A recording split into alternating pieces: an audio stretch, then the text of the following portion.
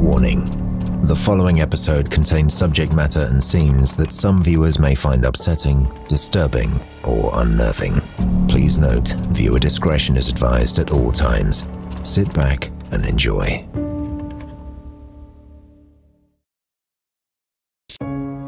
When the usually reliable John Price hadn't turned up for work on the morning of March 1st, 2000, a colleague went to see if he was all right. After noticing blood spatter and smears all over the front door, the workmate frantically called for the police. No amount of training or experience could prepare police for the downright vision of hell they were about to encounter at John Price's home in the peaceful little Hunter Valley hamlet of Aberdeen. They made their way through the house, careful to avoid placing their feet in the seemingly endless puddles of blood. On the kitchen stove, they found a human head sitting in a pot amidst an array of boiled veggies.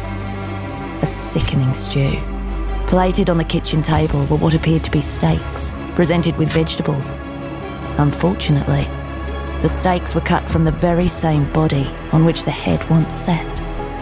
In the lounge was that body, sliced and skinned from every imaginable angle by someone with expertise. The ferocity of the attack made it difficult to count the number of wounds. The blood loss was massive. Vitals like the lungs, liver, kidneys, and aorta were all savaged. It was a scene so dark, so depraved, and yet so evil that surely nobody in their right mind could possibly have conducted it. Yet, there was more of the house to explore.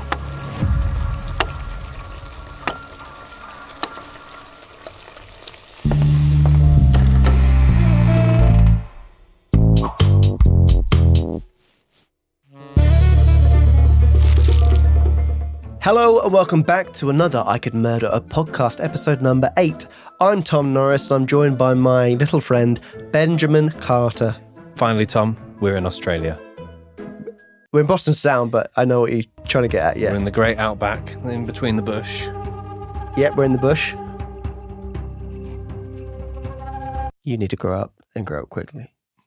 Yes, today's case is going to take us all the way across the world to Australia. But before we start, don't forget to subscribe to the channel, give us a like if you enjoy the episode, and why not turn the notification bell on? Yes, and as always, our socials are at Could Murder a Pod. That's Instagram, Facebook, Twitter, um, and you can also hit us up for some additional bonus exclusive content on patreon.com. Why not consider that? Yes, there's over 20 unseen episodes over there with a Q&A and also just, yeah, minisodes of cases that we've covered. And also, we've got a merch store, we've got mugs, we've got hats, we've got a tote bag, we've got a bundle deal. So if you want to support the pod, why not head over there and have a little purchase? Thank you so much, and any support is, is massively appreciated.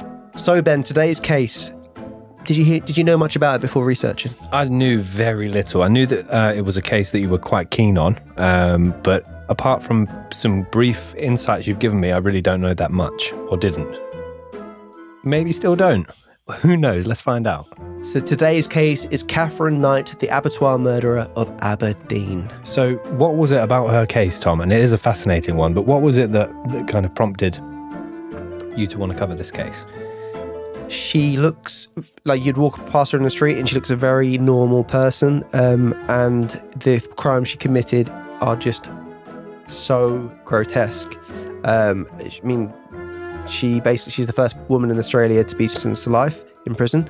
So i think that goes to kind of hint that her, the, the, the case is very very dark.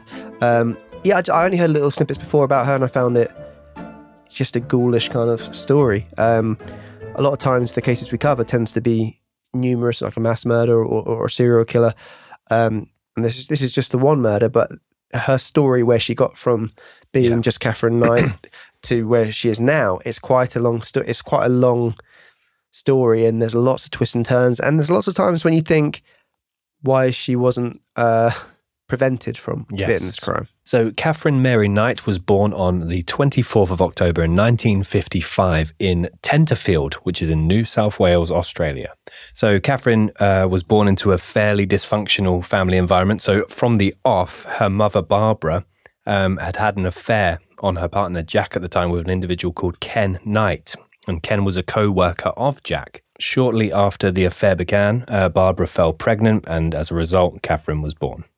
So Catherine was a twin. So her and her sister Joy were born from, uh, yeah, from from, from an affair, so to speak. But the family in general is is, is very dysfunctional. Uh, th- there was a lot of abuse and violence within the household. Her father was an alcoholic who who violently raped her mother up to 10 times a day as an intimidation tactic. Uh, Catherine herself also claimed that she had been sexually abused, but it wasn't from her father. But growing up in that household, you know, it's, it, like a lot of these cases, is a place where you know, you wouldn't wish upon your worst enemies growing up in there and just the way the way everyone was behaving, a lot of drinking, a lot of violence. So by the age of three or four, Catherine had had experienced some horrible things, seeing her mother being raped and like the violence within her household. Um, and this is a time; it's a real important time for for a child, you know, to develop. Like you learning empathy, you learning how people behave, you, learning how family dynamics work. And you know, a clear coping mechanism for that is dis- disassociation, um, just to try and like distance yourself from it. And it's been speculated later on, this is a period in time that really shifted Catherine's way of thinking. Yeah, such important years of any child's life. And, and she is immediately in an environment where there's lots of hostility, lots of anger, lots of aggression, but they're also in a fairly kind of small, rural, conservative town. And word travels very fast about this affair and now these uh, babies brought into the world, which uh, as a result means that um, both uh, Barbara and Ken um, decide to leave the local area and relocate. It's important to note before this affair properly took place, Barbara had already had four children with Jack prior to this affair, but she would then go on to have an additional four children with Ken. So altogether, there's eight children in this family dynamic. Um, Jack would pass away when Catherine was very, very young. So basically, the affair happening caused a major scandal uh, in in the town, which forced them to relocate and move to Moree. Um, none of her four sons went with her. The two older boys continued to reside with their father, while the two younger sons were sent to be raised by an aunt in Sydney. So Catherine growing up wasn't too close to her family members except for a twin and her uncle Oscar Knight, who was a champion horseman. Oh. Her uncle Oscar committed suicide, and Catherine claims that oh. go- his ghost visits her. Oh. You went on a little I went journey on a journey there, yeah. Around the racetrack. Mm.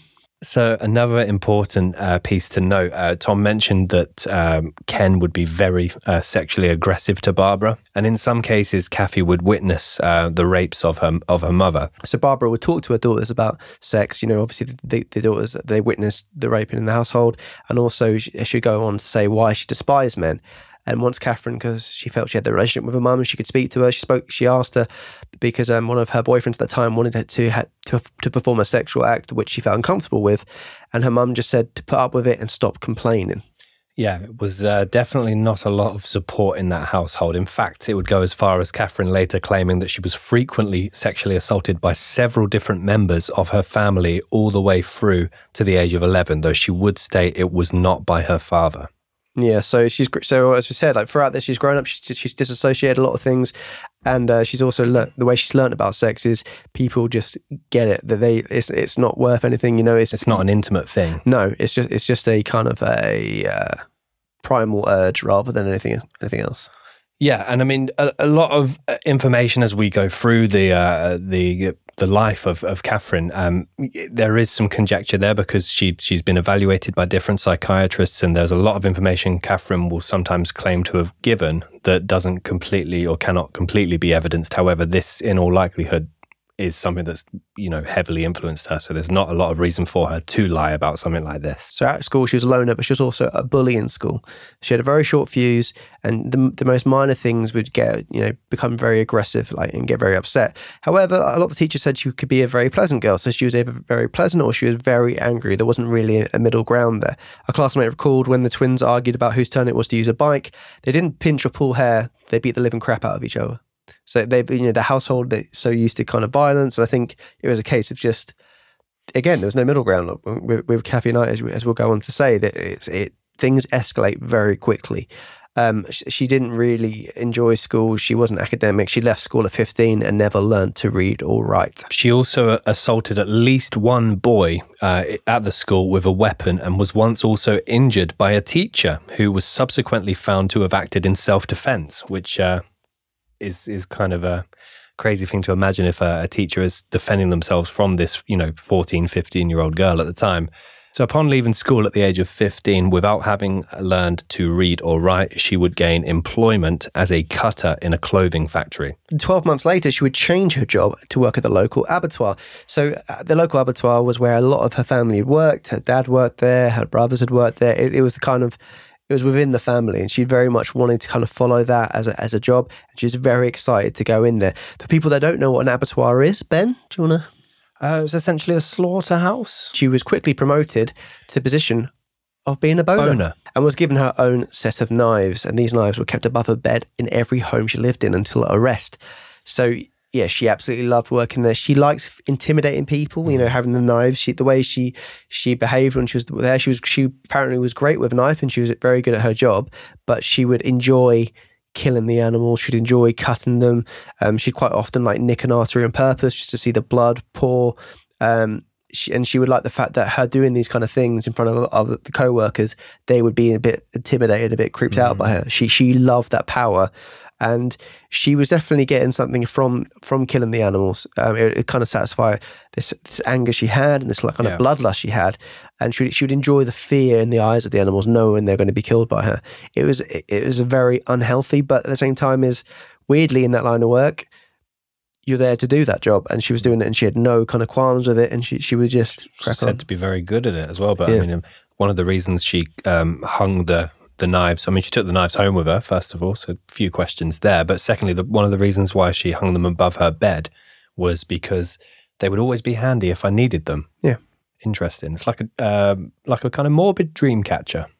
So yeah, growing up, she um, she did have boyfriends. She was she was known she was known as being very charming at times, um, and you know very likable. If she had a few drinks or if some if something got wound up the wrong way, it, she would be very angry and very vicious. And it wasn't a case of a little bicker. Things would usually tend to get violent quite quickly. Yeah, and as Tom mentioned, she's got you know a face very much of someone that you just cross on the street. I think at one stage or another, everyone's seen a, a, a Catherine Knight walk down the street, but well, thank God, not the real Catherine Knight. But yeah, she's got very.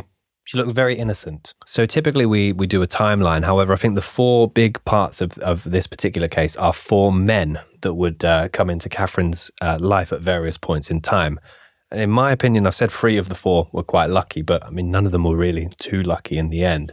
But many of those who knew her, even her ex husbands and boyfriends, said she was generous and good fun and would be the first one to lend a helping hand if anyone needed. But we're going to go into right now what, what would come with being a partner of Catherine Knight. Hmm. So the first individual that came into Catherine's life was Mr. David Kellett.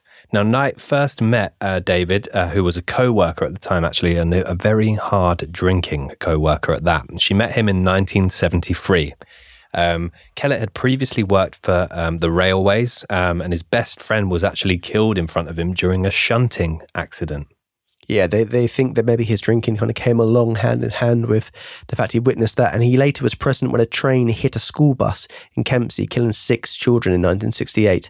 He helped rescue the injured and remove the bodies. So they, people think that his, his heavy drinking may have actually been due to that. So David Kellett, um, he was he was affectionately known as Shorty because he was quite a short gentleman as well. He, lo- he loved to drink. He worked hard.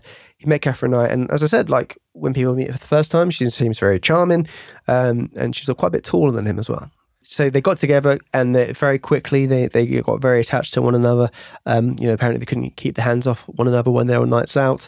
And they married in 1974 at her request, with the couple arriving at the service on her motorcycle with a very intoxicated Kellett on the back which is quite the quite the image. So Knight's mother Barbara gave Kellett some advice at the wedding. This is this is Knight's mother to Kellett. She said, "The old girl said to me to watch out. You better watch this one, or she'll fucking kill you. Stir her up the wrong way, or do the wrong thing, and you're fucked. Don't ever think of playing up on her. She'll fucking kill you." And that was her mother talking. She told me she's got something loose. She's got a screw loose somewhere. So Barbara not thinking a great deal of her daughter Catherine there. No, Barbara doesn't seem like the um, nicest mother-in-law to have um, married into the Yes, and in the wedding night, um, Knight choked Kellett in his sleep after only having intercourse with her two times. After being told by her mother on her wedding night she had sex five times, so got very violent, thinking that Kellett hadn't performed as well as he should have done. So in May 1976, shortly after the birth of their first child, Melissa Ann, Kellett left Catherine for another woman and moved to Queensland, apparently unable to cope with Knight's possessive, violent behaviour. So this is a big kind of turning point. Obviously, like as you said, Knight can get very drunk and get very kind of you know on the wedding night she's strangling him. So it just goes to show the kind of relationship they had. So in response, so in response to this, the next day, Catherine was seen pushing her baby pram down the street very violently, kind of rocking the pram side to side. So she was walking down the street, and like you know, if you saw any person acting like that, you'd be very alarmed. She was admitted to St. Elmo's Hospital in Tamworth, where she was diagnosed with postnatal depression and spent several weeks there recovering. So you thought she's now been obviously it's been realised and noticed the way she's behaving, uh, behaving very erratically, and you think, okay, they've diagnosed her with postnatal depression. You'd hope she'd get the aftercare and they'd keep an eye on her and make sure that everything was all right. But after being re- released, Knight placed a two month old Melissa on a railway line shortly before a train was due. A man known in the district as Old Ted, who was foraging near the railway line, found and rescued Melissa by all accounts only minutes before the train passed. That's um that's incredible. Yeah, so it, it, she's doing that, and it's very much in a way to spite Kellett. Uh, uh, it's it's you know she's trying to endanger his daughter. Um, she then stole an axe, went into town, and threatened to kill several people. After being admitted to St. Elmo's, apparently she recovered and signed herself out the following day. So that's that's the that's like the big red flag for me. Mm. Obviously, the red flag is shaking your kid around, and then I mean, to be fair, the red flag would be strangling your partner on your wedding night. But then shaking your ba- baby around, putting them on the tracks. The fact you're able to, you know, yourself um, sign yourself out the next day. Yeah, well, she's also gone running through the town centre wielding an axe, saying she's going to kill everyone. Um, so that's already about five questions. Yeah, yeah, and yeah. So it doesn't seem like you, it wasn't followed up as much as you would, you know, imagine. This is all in a short period of time as well. A few days later, Knight took a family hostage and demanded that they take her to Queensland so she could find and kill Kellett's mum. Because that's the way, you know, she she was like, okay, well, if, if endangering I mean, obviously it's back in the day, and obviously this is like a long time ago, so it wasn't a case of people were filming her on Instagram so Kellett could see. But she thought, how can I do something that's going to affect Kellett and he's going to react? So she thought, I'll go find the mum so he could kill her. So the family convinced Catherine to go to a service station and to let their boy go because he had asthma which I thought was quite must be good work from them. So the boy was in the car, they're driving. Let's can we go to the service station and let our boy off because he has asthma? She's like, okay, that's fair enough. I'll let him go. The boy alerted the police. Good work, the boy. Yeah. She was disarmed when the police attacked her with brooms and was admitted to the Morisset Psychiatric Hospital. Knight told the nurses she had intended to kill the mechanic at the service station because he had helped repair Kellett's car, which had allowed him to leave. So yeah, she she's got very much got her eyes and you know her focus set on Kellett, and she's she's very, very angry and, and wanting to do anything just to, to harm him. Um, the kind of unbelievable part of it is when police informed Kellett of the incident, he left his go- he was having problems with her anyway, but he left his girlfriend and moved to Aberdeen with his mother to support Knight, which I that's, that's another part of it where you kind of like that is bizarre. On the 9th of August 1976, Knight was released and uh, placed into the care of her mother-in-law, and along with Kellett, they moved to Ipswich, which was a, which is a suburb of Brisbane, um, where she obtained a job at the Dinmore Meatworks. Uh, so back into a you know a role she has massive passion for. They then had another daughter, Natasha Marie. So with um, Kellett and Catherine having another, another daughter, Kellett's sister, Sandy, um, who said that uh, Catherine was very likable, very charming, and she got on with her quite well. She heard a loud cry coming from the bathroom one night. And she went, when she went to see what was happening, she found Catherine holding the baby under the hot tap, hot scalding tap. So the baby was obviously crying in immense pain. When she told David, David said, Don't ask her about it tonight, as she will kill you and probably me too. Just again shows that yeah, he David knew she was very, very dangerous. So she placed one child on the train tracks and potentially the same or another child under hot scalding water. Yeah. And they're still letting her, you know, move about freely. They're not reporting her to the police. And they're just saying, you know, don't bother her tonight. Let's talk about it another day when yeah. she's calmed down. So essentially, if you get on the wrong side of Catherine Knight, you are done for. Yeah. So um, what, being on the wrong side could be something as simple as coming home late from a darts tournament, which Kellett did one night, and she we've all been there. And she hit him on the back of the skull with a frying pan, which fractured his skull. So, as well as striking him on the back of the head with a frying pan, she also burned all of his clothes and shoes. He was able to escape before passing out in a in a neighbor's house. Um, police wanted to charge Knight, however, um, she changed her behavior and Kellett talked the police down. A lot of times she would claim that the her partner was attacking her. I think it was the other way around. And I think sometimes with this, um, a lot of the men, you know, especially back in back in that day, domestic abuse being the woman harming harming the man, it would be kind of laughable in inverted comments, and they wouldn't want to be known as the guy being beaten around by their their partner. I also think she's probably got Kellett to a point where Kellett, even if he hadn't initiated anything or re- responded to anything, if she's saying "you hit me" to the police, he'd go along with it. It might be an easier life. Uh, Yeah, exactly. Yeah. So David caught Knight in bed and one night with another man, but she convinced David to take her back. And in 1984, Knight would actually end up leaving Kellett and she moved first to her parents' house back in Aberdeen, but then to a rented house in nearby Muswell Brook. So after she left Kellett, Knight moved on to David Saunders. Knight soon started following her same kind of pattern of behaviour, getting very jealous uh, regarding, regarding not knowing what he was doing and where she was going, and she would often throw him out. She once smashed him in the face with an iron when he was late from home. And it wasn't a case of just the iron was sitting there. She'd been using it, and apparently it was steaming hot, and there's marks in his face from the, the holes of the iron there left left for weeks. In May 1987, and Catherine Knight would go on to cut the throat of um, David Saunders' two month old dingo pup. And she did this for no other reason than just to prove never to be on the wrong side of her. She then would go on to knock him out with a frying pan. That's, yeah. Yeah, so you you just don't want to get on the wrong. s- Well, is there a right side of this woman? I know she's got that very um, uh, likable, charming side to her, but that seems few and far between at the moment. Like like a lot of people have said, like people say she's very charming, um, and she is. And like the things that kind of it seems to be a lot of her anger seems to be taken out on her partner Yeah, rather than just the general general public. Um, you know, she should get on with her neighbours, should get on with you know people she worked with, but it just seemed to be she would have very short fuse when it came to someone she was uh, involved in. Yeah, because even when she met met uh, Saunders, and then they ended up kind of getting their own place together, he kept hold of the lease on his second apartment, and she was livid. Any you know, anytime he'd go over there or stay in there, even if it was closer to work, and she would punish him for for having a second apartment because she didn't trust him. Yeah, yeah. She um she, she turned up to her twin Joy's house with a shotgun, saying that she had killed David. She hadn't, but she did it because she basically people kind of theorize why she'd done this and what this behavior kind of demonstrates. But she, like I said before, with the abattoir, she enjoyed seeing the fear in people's eyes. She enjoyed shocking them, and she did this. People think to kind of help her plan the day when she finally does go on and kill someone. Um, kind of what's the kind of way to go with it, which is highly peculiar behavior. Um, but yeah, it's yeah, it's, it's Catherine Knightley Weed and a lot of things are peculiar at the moment. Um, Knight decorated their house that Saunders bought in a very peculiar way. Yes. Do you want to explain, Ben? Yeah, so she um, she actually got some uh, workers' compensation come through after the birth of their second daughter, and uh, they would use the money to decorate the house throughout with animal skins, animal skulls, horns, rusty animal traps, leather jackets, old boots, machetes, rakes, and pitchforks. There was no space at all left uncovered, um, and, and that was including the roof. So all the walls, all the ceilings, all the floors covered. Yeah, and she apparently she would have lots and lots of gruesome horror movies there. She very much enjoyed watching kind of anything gruesome, like we said, the abattoir. That that was probably the place where she was happiest.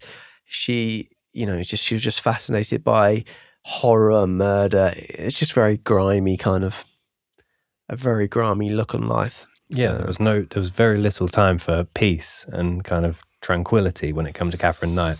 So another night with Saunders and another argument would result in him being stabbed with a pair of scissors. He moved back to Scone. When he later returned home, he found that she had cut up all of his clothes. So, as a result of this attack, um, Saunders would take a long service leave, and he actually ended up going into hiding from Knight. Um, Knight tried to find him, but no one, uh, including his work colleagues and family, admitted to knowing his whereabouts. So he truly went into hiding from this woman. Um, several months later, Saunders returned to see his daughter and found that Knight had gone to the police and unjustly told them she was afraid of him. This year, she got a restraining order out on him, Yeah, which is uh, ironic. preventing him from seeing their daughter. So again, to try and punish, perhaps, or control. Yeah, definitely. Yeah, it, it, she seems to be able to flip the uh, the victim card and the uh, you know she fills them with fear, but then she's able to play the card where she's scared of them, and she keeps swapping and, and swapping with that. Um, so after Saunders, uh, and she doesn't have any trouble finding her new partner. It seems she goes. It's very quick. As we said, she's she seems to be very charming. Uh, Knight had one more relationship before her final relationship with a man named John Chillingworth, with whom she had a son named Eric. Yeah, with, Chillingworth, um, I saw a few arguments and whatnot, but it, Chillingworth is the only ex partner who uh, still looks at her in a, in a kind of lovingly loving way because she would go on to leave him um, and she would leave him for John Price or AKA Pricey to his pals. And this is where things get even uglier. Yeah, so despite uh, that relationship with Chillingworth breaking down, um, it was actually due to Knight having an affair with John Price, um, who was said to be a handsome local man. So in 1995, uh, Catherine moved into John Price's house. Now, John was very aware of Catherine's reputation of being a violent and aggressive and uh, kind of uncontrol- no, unpredictable uh, person. But despite that, you know, he was happy. Uh, you know, saw the loving side of her, was kind of spellbound by her again, and um, yeah, they moved in together.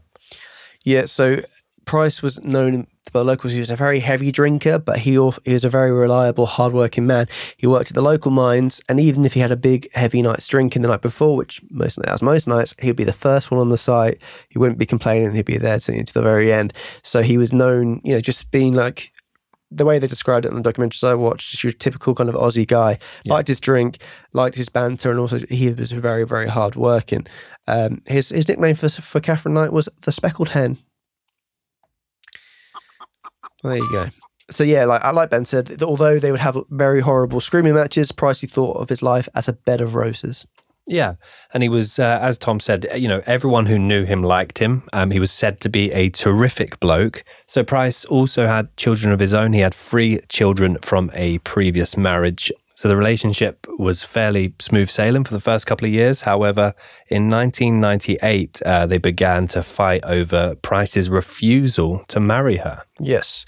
I don't know what it is. Catherine seems to have a very kind of set mind of what it needs to how a life needs to be and it seems to be to have kids and to be married it seems to be that kind of picture perfect lifestyle that she seems to have very much fixated in her head even though it seems to be her the one that completely goes against it once it's happened i mean when you look at it with kellett she had two children with him married but that wasn't enough then she left him i know obviously they had a lot of kind of bumps in the road as well but it was very peculiar but yeah um, price's daughters uh, they said they said that um, Catherine was very charming and, and they yeah. liked her and got on with her. Um, but yeah, this this really did kind of this was the kind of turning point. Um, Price essentially said that he uh, he, he was he just wanted the sex. He didn't want the kind of he didn't want marriage. Yeah, I mean they, they were still kind of living together, like kind of off and on, but he made it clear that's all. That's you know he didn't want anything other than that.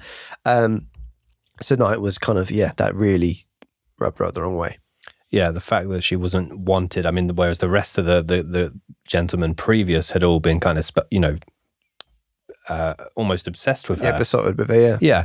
Um, Price was definitely, you know, a lot more casual and, and perhaps the one that she had the most feelings for as well. So it's kind of a double double whammy. Her, her immediate kind of retaliation to that, she told one of his daughters that she wasn't his daughter.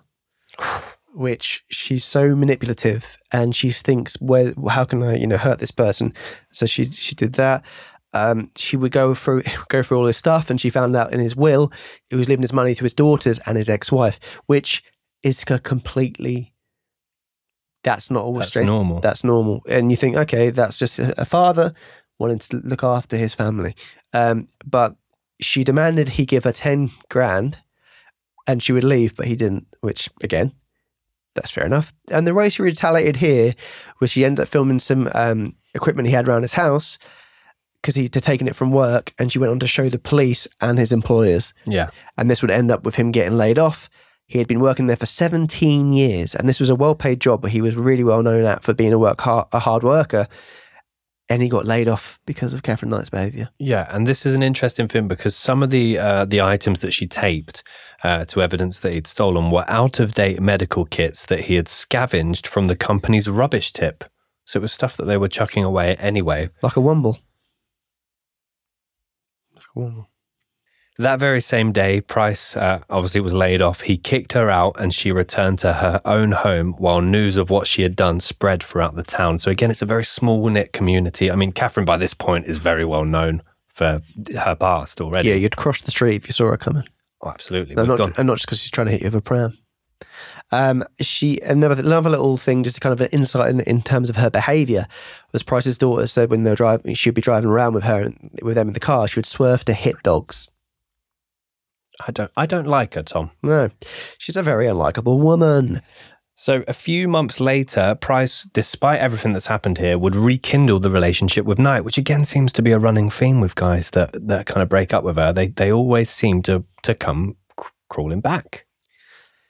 Yeah, I think it's, it's it's very tricky. I mean, Price, you know, he, he wasn't. He was still you know, in his forties. Yeah. Um.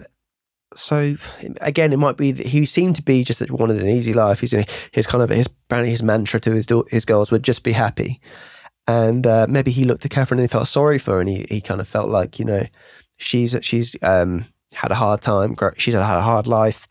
I've had a, I've had a difficult moments myself maybe we can make each other happy one last time. In an abusive relationship, it's, you know, it's very often, you know, there's certain patterns of behavior where, you know, I've changed, I, I love you, and the kind of reward from that feeling, that it can be very hard to kind of um, to to uh, pull away from that.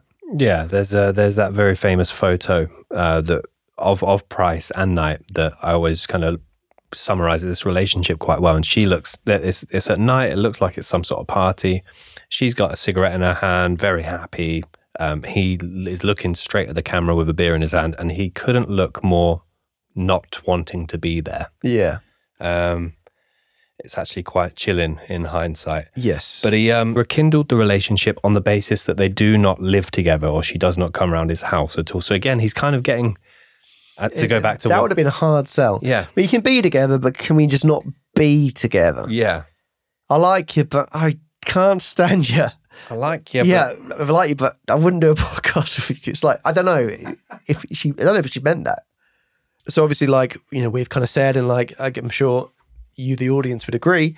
After all these red flags, this kind of behaviour, what Price had, you know, Price taking her back is a very you you just can tell it's a it's a recipe for disaster essentially. He may have to pay a price so his friends, you know, his, his long-time drinking buddies, you know, who go out drinking with them a lot, they basically kind of shunned him after taking her back just because they knew how horrible she was. I mean, I think everyone's had that situation where, you know, someone's been with a partner and you don't agree with it, kind of muddies the waters. And like, yeah, he took her back and they were like, if you're, you know, you've choose, you've chosen her kind of over us.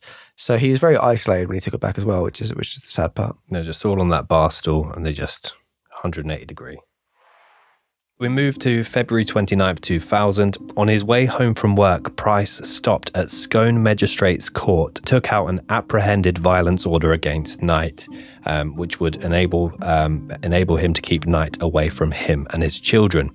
Um, he told his co-workers that if he did not come uh, to work the following morning, that more than likely Knight had murdered him. They all begged and pleaded for him not to go home, but he was afraid that if he did not go home, Knight would murder his children. Yeah, he also said to his neighbours, you know, because like we said, like Price's kind of work ethic, he, he, was known for it. He was always a hard worker. He never really had a sick day. Um, he even said to his neighbours, if you wake up in the morning and you're getting up and going to work and my car's still in the driveway, something terrible has happened. Um, yeah, and yeah, it, it, it's just he knows something bad's going to happen, and that's the scary thing here. So things have escalated. Catherine's been acting even kind of more erratic than usual, and uh, yeah, it's prices prices kind of felt that. So on this day, Catherine would buy some black lingerie, and she made a video which she, she kind of viewed as her will and testament. She's kind of listing things she had and who she would like. You know, one day I'd like you know this to be yours and such and such. It wasn't. She didn't explicitly say this is her will and testament, but it's kind of looking back on it with all this information we have. You kind of think she's doing it as a kind of yeah a bespoke kind of will. Later that night, um, you know, every, he, he'd returned home. Everything was as normal. They had dinner. They went to bed. Knight and Price uh, slept in separate rooms, and Knight prompted Price in the middle of the night in her new black lingerie, and the pair had sex. She then allowed him to fall back to sleep before she came back into the room and stabbed him 37 times she's gone from hitting other partners on the head with frying pans, fracturing the skull. She's gone to putting a, a baby on a train track. She stabbed someone before with a pair of scissors. So you could see a gradual escalation here in terms of like the violence. I know some of the crimes we've covered before, like Speck, it kind of seemed to go from, you know, zero to 100, but this, there has been a clear escalation. But uh, I mean, this in itself as a sentence is a, is a sounds like a, an absurd thing to say, but stabbing Price 37 times is light compared to what she goes on to do. If she was just stabbing to kill and she's worked in an abattoir, she knows what she's doing. Yeah. She, and she she's doing this out of a, a pure fit of rage. Yeah. She's seen red and she's just going to, you know, absolutely lost in doing this. Um, and that's a horrible thing with the Price had actually, you know, that they actively been looking to try and find ways to prevent, you know, his relationship with Catherine essentially. The pair had just had sex as well, so she's kind of twinning that uh, act of sex with violence again, which is kind of from her upbringing, something that was Like a praying mantis. Yes, She would go on to decapitate Price and cooked parts of his body, serving up the meat with baked potato, pumpkin, beetroot, cabbage, yellow squash, and gravy in two settings at the dinner table, along with notes beside each plate, each having the name of Price's children on it. She's preparing to serve his body to, to his children. Um, one thing as well from this, which is a clear pattern, which has happened in the, the, the Dennis Nilsen case, uh, it's happened in this case. If you see your partner going to buy a big pot, you know, one of the, one of the cooking pots, I know the one you mean exactly. Yeah, run because it's always a head that ends up in that pot. It's, it's always like even the policeman apparently said when they went in the house afterwards, no guessing what's in that pot. Hmm. If you see that bubbling away, and they always leave it on there. Casserole. Why is it always the day before they get found out that it's there? I'm not saying she did it on purpose, but yeah. So, so she cut off his head, left it in there, and she served. She cut up, and apparently she cut up the parts of his buttocks to make to sort of cook the cook the meat for the for the kids. She she left those plates there for the children, and it's it's so eerie because it looks like it's presented in a way which Yeah. just looks like you know a family dinner. family meal. Yeah, Yeah. So, as well as this, then she also skinned, uh, fully skinned Price and uh, hung his skin from a meat hook in the arch of their doorway. yeah, it is. It's an escalation. It really is, and like the blood spatter on the case, you could see Yeah. very clearly he went from one room to the other, uh, bleeding out, and then there's a bit where you can see where he lay on the floor, and Hasper Catherine kind of performed all the acts. Um, yeah, and she cut up some of the meat, and she there's been speculated that she attempted to eat it, but she couldn't, and she threw it outside. But I've heard another claim that maybe she just did it to feed the dog some some of the meat from, from him. Yeah, I mean, there's some details here. Price's head was found in a pot of vegetables. The pot was still warm, estimated to be at 40 to 50 Celsius. I don't know. why I'm giving you tips how to cook a head, but indicating that the cooking had taken place in the early morning. Okay. I was just about to question why they got the temperature, but then to get put a kind of a forensic timeline on it, that, Yeah, fair it- play. So, as Ben said, she would go on to skin him, which included the face, ears, scalp, and neck like a macabre suit. Knight only left a small inch square of skin on the body, and this is this is horrible. The, the square had the scar from where she had stabbed him previously. So it's like she didn't want to, Ruin her handiwork beforehand. yeah, or have a, a disfigured piece of skin in her meal. Yeah, a bit of gristle. Oh. Yeah, that that is um that's horrible. She had left a handwritten note on top of a photograph of Price, bloodstained and covered with small pieces of flesh. It read, so remember, Catherine couldn't read or write, but she wrote, Time got you back, Jonathan, for raping my daughter. You too, Beck, which was Price's daughter. For Ross, for little John, that was his son. Now play with little John's dick, John Price. Claims found to be baseless. So it kind of seems to be the ramblings there. It doesn't make any sense whatsoever. Um, so the next day, um, Yeah. Price obviously didn't turn up to work. His neighbours saw the car in the driveway after you know he'd been kind of very frantic about what was to happen to him. Um, his workmates were ran, kept ringing the house, kept ringing the house, kept ringing out. That's when they kind of alerted police that maybe they need to go around there and check on him. So the police would arrive to the property, um, knock on the door, ring the doorbell, and there was no answer whatsoever. And you know they like the they knew Pricey, they knew that you know he would be there, um, and they were getting very concerned. So they broke down the door, went through the doorway, and they could immediately kind of sense something wasn't right. As you said, a few blood marks on the wall. Um, they went through into the living room area, around to where the kitchen was, and on, on entry, they went past this curtain at the doorway, pushed past it, walked in for a little while longer. One of the policemen looked at his arm and thought he must have nicked his, hand, his arm on the door because he was covered in blood from when they broke in through the door but they turn around to discover what they actually walked past wasn't the curtain. It was it was John Price's body, his skin hung up on the doorway on the on the meat hook. Um, they then would continue to kind of explore the house and see the kind of crime scene, what happened. As I said, they saw the pot on the stove and said, "You can guess what's in there," because they'd already seen the body on the floor minus the head, um, and they were very, you know, it, in this small kind of town, this kind of this kind of murder. I mean, anywhere this murder would be very, yeah. you know striking and different, and you know it would be a horrible thing to find. Um, they carried on walking around the property, just trying to see if there's any, you know, see if the intruder was there, see if there's any kind of evidence immediately that stuck out. They went upstairs and they found Knight's comatose on the bed, um, surrounded by pills. Um, they're shaking her, trying to get her awake. And there's actually footage that emerges of of the of a ambulance coming to the property and taking Knight out of the property. Um, she like I said, she had recorded that video before, which kind of links into this. Maybe it was a suicide attempt after doing this, a kind of a final act with that that that note and those plates being left out for the daughters. But um, yeah, she, she wasn't successful in that attempt.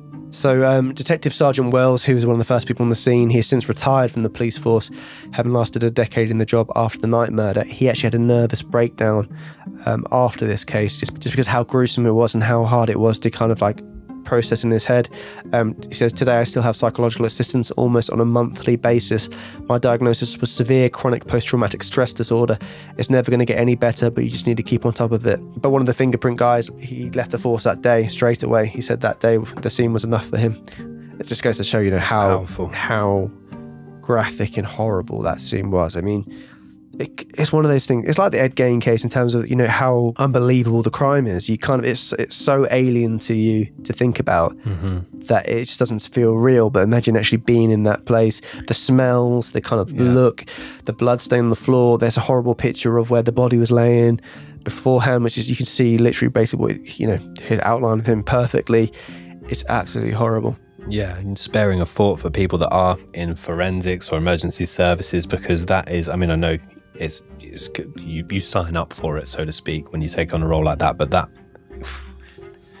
that is a sight to behold. Yeah, and I mean, in one of the documentaries I watched, they had John's daughters on there, and one of them, they, they both spoke so eloquently about the whole thing. But um, the youngest daughter, Rebecca, um, she how would you break the news your father was murdered? Number one, how would you break the news to your daughter that the fact that he'd been murdered, decapitated, and skinned and she cooked. and she found out by reading it in a newspaper. Oh no! Which, again, it's just it's just horrible. And she said she couldn't like stop crying for days upon days and upon days. Um, so yeah, it, it, it's absolutely horrible. But yeah, by that stage, Catherine's been taken into hospital, and um, the police are waiting desperately, you know, to question her and find out what exactly had happened. I mean, they I think they had a quite a good idea, but you know, needed to hear what she had to say. So basically, she would spend a few more days in hospital before being uh, legally questioned.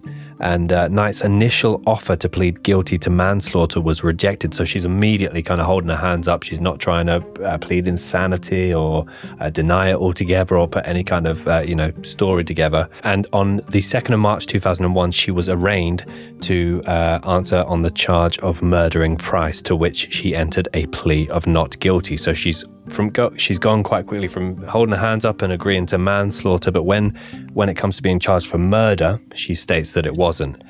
Um, however, the trial would be delayed due to illness of her counsel and was refixed for later in the year. Yep, so it would be, it'd be quite a while in the gap here, but it's November 9th, 2001. Catherine Mary Knight was given the harshest sentence possible in Australian law. Knight was the first woman ever in Australia's history to be sentenced to life in prison without parole, with her file marked never to be released. Um, an interesting thing about this was a lot of the, obviously, with this kind of how gruesome this case was and how you know, sadistic it was, they got psychologists to speak to her, um, and they said that she had borderline personality disorder, but she was um, she couldn't plead insanity, and like it's been it's very much strongly believed that you know she's she's ruled as a sound of mind, but believed to be a psychopath. You know, she, as I said, like she's very charming. She had no empathy. It's all those kind of boxes she's up. ticking. Yeah, I mean, she Yeah. she could charm her way. You know, well, she charmed herself, charmed her way from from man to man. Um, Very quickly as well, you know, forged new relationships. But Psychologists confirmed it was likely that she had a dissociative period in which she committed the crime. So, like I said before, uh, you know, when she was kind of developing, like living in that household, that's how you know it's quite a common way to kind of deal with the trauma of seeing, you know, your your, your mum being raped on a daily basis. It, it, block it out. Exactly, yeah. So it could be a fit of rage and this happened. But like we said, from all the kind of accounts from people about Price, his daughters, his friends, he was you know, he was described as a terrific guy, a hard worker. In terms of their arguments, it wouldn't have been. He can't see he had done anything, obviously, to warrant. I mean, who could do anything to warrant this? But yeah, it, it's it's horrible. He just wanted an easy life, didn't he? And it's it's it's heartbreaking that he made the decision to go back to her, um, and ultimately that would lead to to this. Yeah, I mean, the the, ju- the judge, uh, Justice O'Keefe, um, would say the last minutes of John Price's life must have been a time of abject terror for him, as they were a time of utter enjoyment for her. She has not expressed any contrition or remorse, and if released, she poses a serious threat to security or of society. Um, one of the big things that kind of convicted her here, and she couldn't kind of know, weave a web of lies of how she was being she was being um, abused by John herself, um, was the fact that she spoke to her brother Charlie um, three weeks before she committed the crime, and she gave and she basically told him, "I'm going to kill John Price." And this was three weeks before she did it, and he he actually came forward, which good on him, came forward and spoke to the police, gave a statement, and said she told me she was going to do this. Um, I guess, like you know, before she's she's gone to her twin sister Joy and said, "I've killed someone," so maybe he.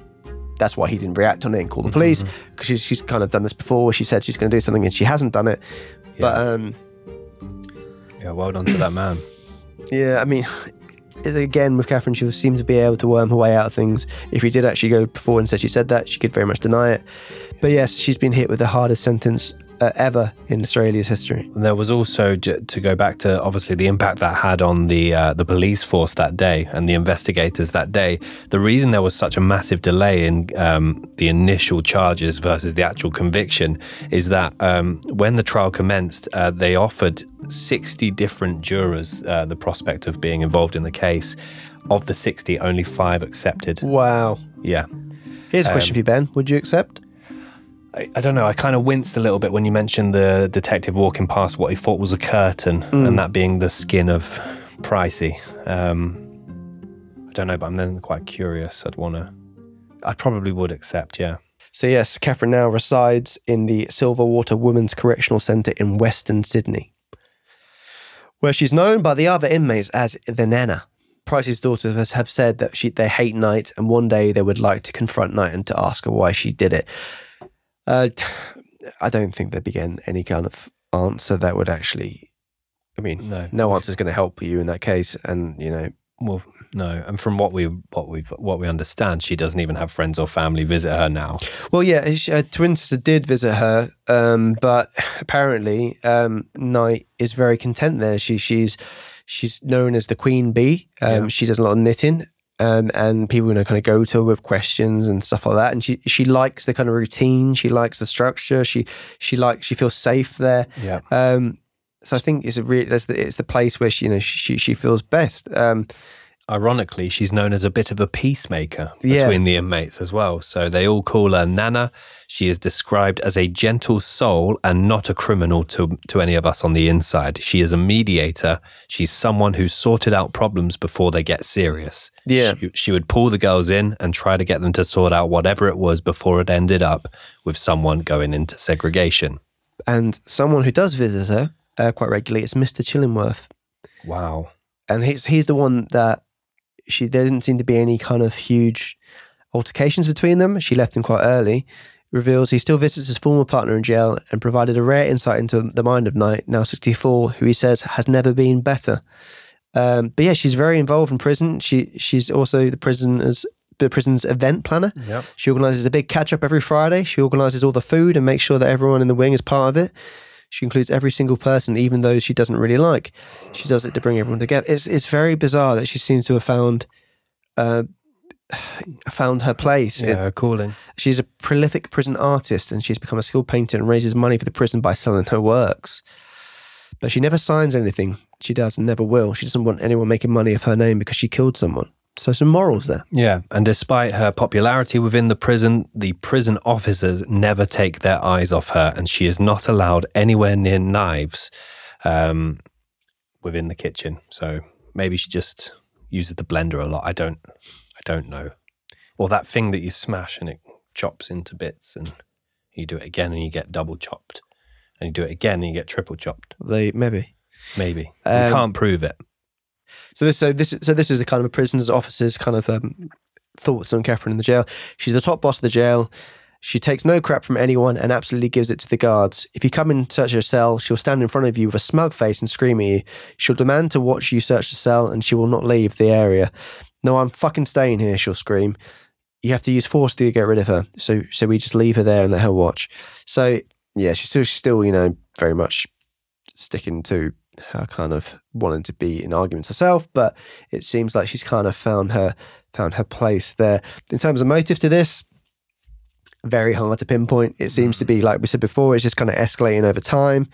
Um, and like we said, the abattoir and all that, that's where she felt in control. Yeah. It's not really it's It's it's that learned behavior from her, her, her parents as well. Um, to be born into an environment where your mother and eventually yourself repeatedly sexually abused, um, but then the mother also kind of giving that insight and not being supportive of her. Um, Yeah, it, it's, it's not one. I mean, she's over the years she's gone to see a psychiatrist in the, in the prison who and they've said she goes to see a psychiatrist regularly over the years. She's done a lot of self improvement work. she's never really had any kind of authority against her, so she's never been controlled when acting out.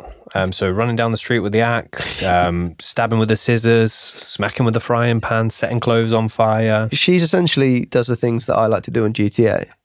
I'm not doing the missions, but I'm causing chaos like that.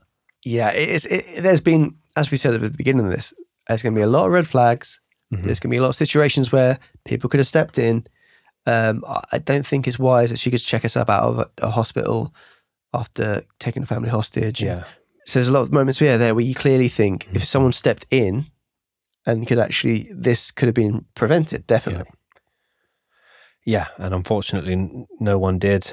She was allowed to get away with things again and again in terms of physically being violent, sexually potentially being violent, and, and certainly being manipulative and, and verbally aggressive. Um, Yeah, she definitely had a, a, a, hard childhood, but yeah, leading to this, I mean, no one could predict it would go to this extent. It kind of goes to show when once once this actually started emerging in the news, Kellett's sister Sandy said to her partner, "That's going to be Catherine Knight. That'll be Catherine Knight." And then she's like, "No, you won't." And it was, and she she was not surprised that this was mm-hmm. Catherine Knight. It just goes to show that even though you could never predict someone going this way, it wasn't out of question for Catherine to be the one that was. If someone was going to do it, it was going to be Catherine that did it.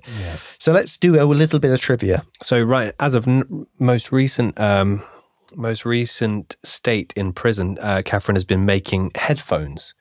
And she was recently pictured with her hand on the shoulder of Cardinal George Pell during a pastoral visit uh, to the Silverwater Women's Prison.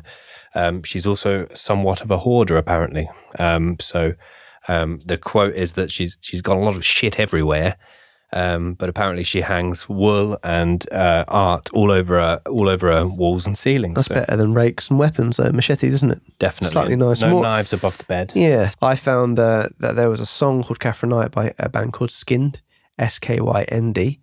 And some of the lyrics are I want to cut you in the dark, taste your bleeding heart. I hate you, hate you. I want to hang you from my door, bleed you to the core. I love you, I love you. And the song is terrifying anyway, in terms of the music video. The music video shows the final day and Catherine, like Catherine, someone playing Catherine Knight, Oh. but the song itself is just a very bizarre song. So if you want to Yeah. be slightly unnerved, go and listen to that. Yeah, there's also an image. If you whack uh, Catherine Knight into the old Google machine, one of the first images that pops up isn't Catherine Knight. No, it's another prisoner who has red hair. Yeah, but it's it's a spooky image. You're just, you're just slagging off a woman. there. No, no, no. It's I was like, oh, Yeah. scary. Yeah. So you just basically. I basically think say it's from a horror film. it's just from, no, she's a prisoner in another prison. Why would they take it that in such a dramatic light? So lookalikes, uh, like we like to do at the end of the episode. I will be completely honest here. Um, I haven't really got one from Catherine Knight because I think she looks very uh, just like a normal person. But I'm gonna I'm gonna say a young Miss Finster. That's pretty good. John Price looks like Rab C. Nesbitt. Um, and I think that's pretty, I'm pretty happy with that one. Shorty um, Kellett looks a bit like the singer from the Monkees. So there you go. And that is our lookalikes for the case. And that is the case of Catherine Knight, the abattoir murderer of Aberdeen. Yeah, a, a grisly one at that. It was, it was, and uh, it was just stood out as a very. I think it's quite known, well known in the true crime scene. This case, um, Catherine Knight, and there there was a movie going to be made about her, but I think it was the people of the local area didn't want it to be made, and I was kind of googling for it. I couldn't find it anywhere, so maybe they got their wish. So as always, thank you so much for uh, uh, checking us out. We really appreciate it. Um, and uh, if you're looking for more content, if you just can't get enough, then we have got 20 plus, 20 plus episodes over on our Patreon uh, account, which is patreon.com forward slash could murder a pod. And we would really appreciate any support there, only if you can. Yes, only do it if you can. And if you're sitting there going, oh, I wish I had something to put a hot hot beverage in, and I wish I had something I could, I could carry all this stuff in. And if I wish I could, my hat, my head's a bit cold. I wish I could wear a bloody hat. Why not go to our store where you could do all those things? You can get a mug to put the hot liquid in, a bag to put the rest of the crap in, and your hat can be on your head to warm it up. And you look very swish in doing so. Thank you. Um, but they could do it as well. And if you've enjoyed the episode, don't forget to subscribe and give us a like and hit the notification bell. And leave, leave us a comment and let us know if you had any lookalikes or any cases that you want to hear from us or any questions. Let us know. We like to always like to interact with you. Yeah, and as always, uh, to the people listening, all of our social media handles at Could Murder a Pod. But come and say hello. Uh, leave a comment on YouTube or drop us a message or, or comment on Instagram, Facebook, Twitter. We've got we've got a little bit of everything for you. And if you listen to us on audio, don't forget to leave us a little review. We really appreciate that. And don't forget to follow us on Spotify because it does really help us out. But until next time, guys, like we always say, we do say it a lot. Keep doing what you're doing. Um, unless that you're doing um, skinning, in knives above the bed, frying pan, mm, dogs, skin. Bye. See ya.